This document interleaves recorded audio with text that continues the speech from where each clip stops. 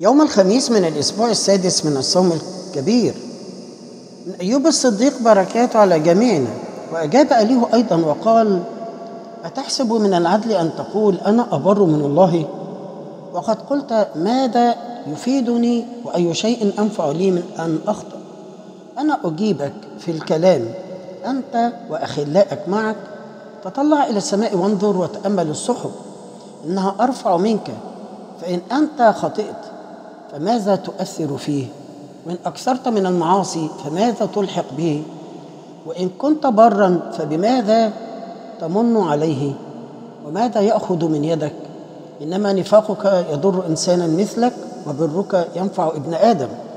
من كثرة العزف يصرخ الأزلاء ويستغيثون على أزرع الأعزاء ولا يقولون أنا الله الذي صنعني الذي ينعم بالترنيم ليلا.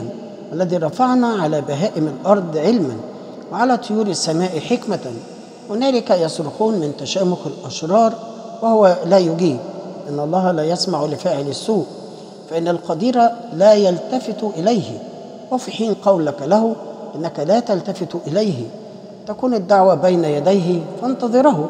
أما الآن فإذ لم يفتقد بغضبه ولم يشدد العقاب على المعاصي فتح أيوب فاه بالباطل وأكثر من الكلام عن غير علم. مجدا للثالوث القدوس إلهنا. آمين.